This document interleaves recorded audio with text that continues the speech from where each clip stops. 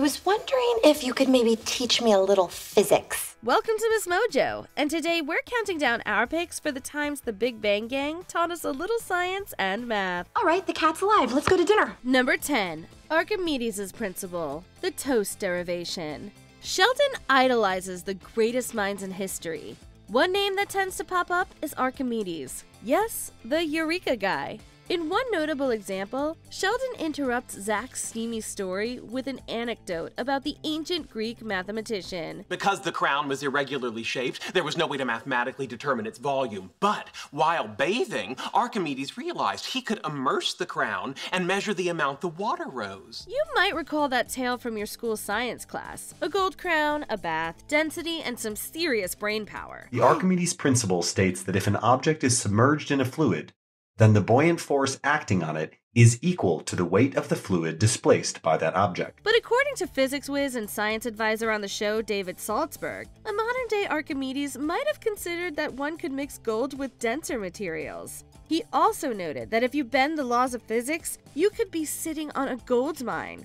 Too bad the others weren't listening. They could have had their own eureka moment. We are the intellectual descendants of Archimedes. Give me a fulcrum and a lever, and I can move the earth. It's just a matter. I don't have this. I don't have this. I do not have this. Archimedes would be so proud. Number 9. The menstruation myth, the Wheaton recurrence. Let's clear this up straight off the bat. No, men don't menstruate. But Sheldon's right. They do have their own hormonal cycle. What's with him? Perhaps he's at a sensitive point in his monthly cycle. Are you saying he's menstruating? However, instead of monthly, men's testosterone levels go up and down throughout the day. It's supposedly highest in the morning, lowers as the day goes on, and rebuilds during sleep. Just like how the menstruation cycle can affect how someone feels, these rises and dips can affect men's moods and behaviors too. As far back as the 17th century, scientists observed a 33 day fluctuation in men's hormone levels. Interesting. That might explain my weepy days in the middle of the month. But we don't think that's what Leonard's experiencing here. He just dropped an unreciprocated L bomb. Who wouldn't be devastated? Still, if they're going to play on that age old trope, then doesn't Leonard also deserve an ice cream treat? I've been familiarizing myself with female emotional crises by studying the comic strip Cathy. when she's upset, she says, ack, and eats ice cream. Number 8. Non Newtonian Fluid The Barbarian Sublimation. In this season 2 episode, the guys have a blast pouring a mix of cornstarch and water on a speaker and cranking up the tunes. What's utterly mind blowing is that despite starting as a liquid, the mixture springs to life like a solid once the sound vibration hits. Hi! Hey, check it out, it's just cornstarch and water! This matter bending magic is the work of a non Newtonian fluid, a substance that defies the rules, switching between solid and liquid states depending on its environment. Joe is running on top of a mixture of cornstarch and water. It's a liquid, but it acts like a solid when we apply force to it. If Joe stops moving, he'll sink right in. Stop, Joe. Apply some force and it stiffens up. Relax the pressure and it's a liquid again. There are tons of cool DIY experiments online, and you only need two simple ingredients. Penny might not be impressed, but we sure are. They make up a non-Newtonian fluid, which is liquid, but solid under the percussive action of the speaker. That's what makes it get all funky. Yeah, okay. Number 7. A jellyfish's life cycle The Tenure turbulence. During lunch in the cafeteria, Leonard shares this cool fact. There's a type of jellyfish, the Turritopsis dohrnii, that's practically immortal. I was reading about this jellyfish that never dies. Instead, it reverts to its asexual state and then grows up again. While regular jellyfish succumb to old age, stress, or injury, these remarkable sea creatures have a fantastic trick up their tentacles. Instead of dying, they shrink, settle on the seabed, and magically turn back time, starting their life cycle all over again. After it reaches its mature adult stage, it can revert back to the polyp stage before growing into an adult once again. Potentially, this can be repeated indefinitely. It's a bit like the mythological phoenix rising from the ashes. But imagine a superhero with Turritopsis dohrnii superpowers? That would be pretty neat. This fun fact leads the group to contemplate a reality where immortality exists. My point is, immortality is not only a possibility, it is real. Only if you're this jellyfish, which periodically reverts to a mass of undifferentiated protoplasm. If I could keep my Gmail account, I'd be okay with that. Honestly, we're just surprised no one makes a Doctor Who joke. I know these teeth.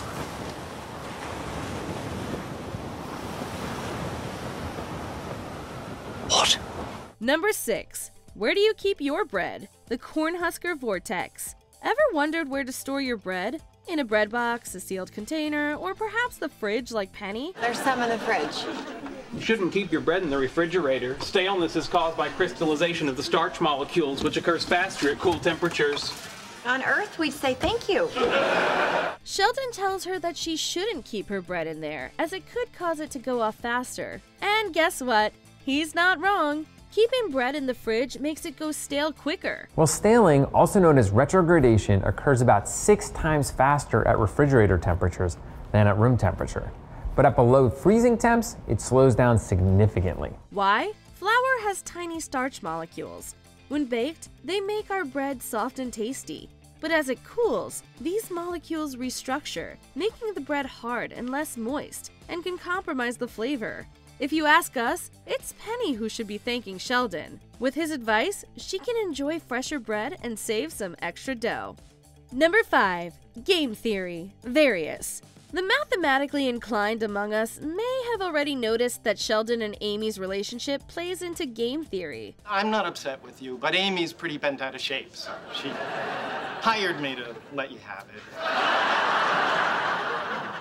Well, I suppose turnabout is fair play. You darn right it's fair play, you selfish jerk! What's that, you ask? It's like playing a game where you plan your moves, think about what others might do, and try to collaborate smoothly. While it might not sound very romantic, it's about thinking ahead and making predictions without getting into complicated math. Game theory applies to games involving two or more players. In a game, players share common knowledge of the rules, available strategies, and possible payoffs of the game. Sheldon and Amy often face situations where they have to consider each other's feelings and make decisions that impact both of them.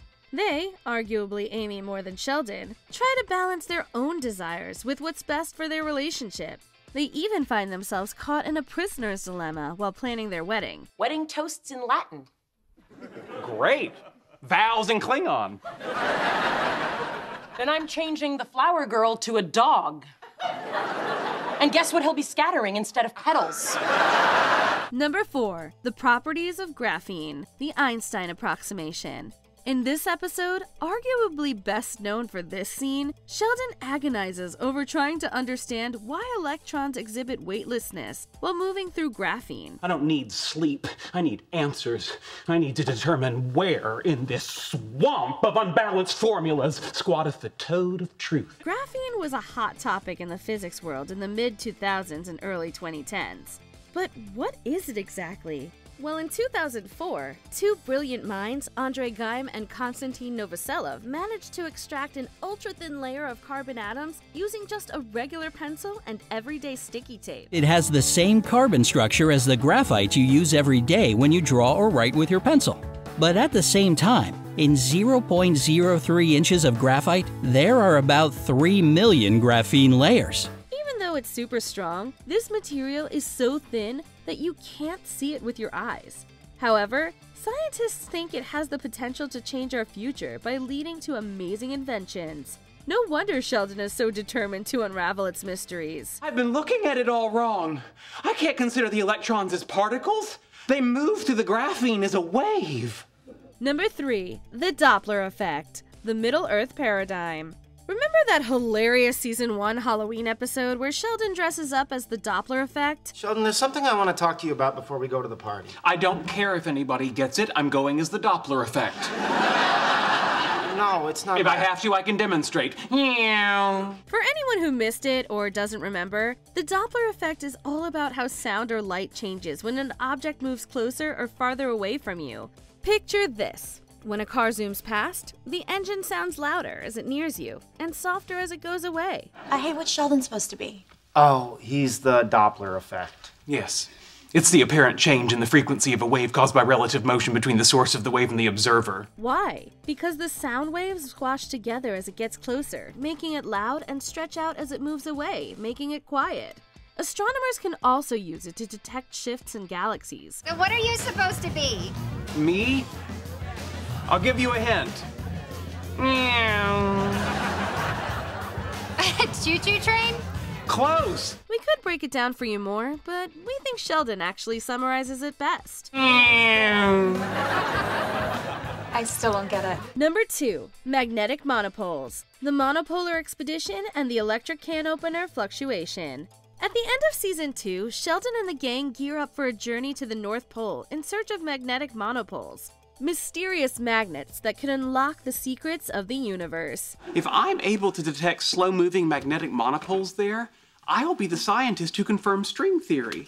The people will write books about me. The third graders will create macaroni art dioramas depicting scenes from my life. He believes that could be game changing for string theory, but unfortunately, things don't go quite as planned. But he's far from the only scientist on this quest. It's the magnetic monopole. And of all the fantastical beasts of particle physics, this is perhaps the most likely to actually exist.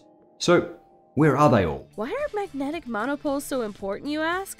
Well, imagine them as rare puzzle pieces that can enhance our understanding of our world. An ordinary magnet has two poles. The primary characteristic of a monopole is that it has only one pole, hence monopole. Scientists have scoured for these elusive magnets like hidden treasures, but if they exist, they remain unfound.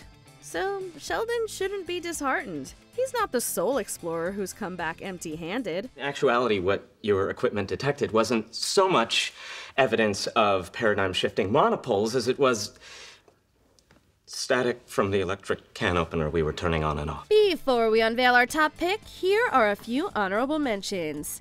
Amy Farrah Fowler's Real Brain Power, Various. Like Amy, actor Mayim Bialik has a PhD in neuroscience, so she really knows her stuff. I'm doing research on emotions and brain activity, so when you start crying, I can see which region of the brain is activated.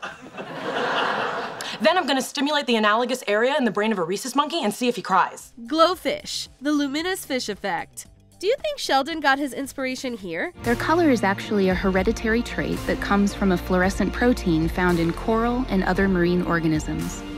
That trait was added to a single fish embryo many generations ago, and now glowfish are born with their color and carry it through their lifespan. Neil deGrasse Tyson eclipses Pluto, the apology insufficiency.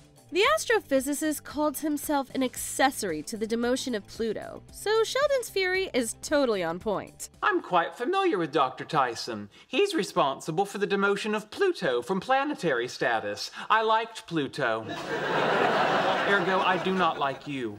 Penguins and monogamy, the Hofstadter insufficiency. Raj sure knows a lot about penguin relationships, the highs and the lows. So, if the fact that your husband left you makes you feel unattractive, just remember penguins get cheated on, and they're adorable. Before we continue, be sure to subscribe to our channel and ring the bell to get notified about our latest videos. You have the option to be notified for occasional videos or all of them. If you're on your phone, make sure you go into your settings and switch on notifications. Number 1. Schrodinger's cat. Various. Actually, I've heard far too much about Schrodinger's cat. The Big Bang Theory made science accessible and engaging, especially for those of us who might have forgotten our school lessons. No, it wasn't my cat. It was an experiment designed by this guy named Schrodinger. From the Charlie Brown cartoons?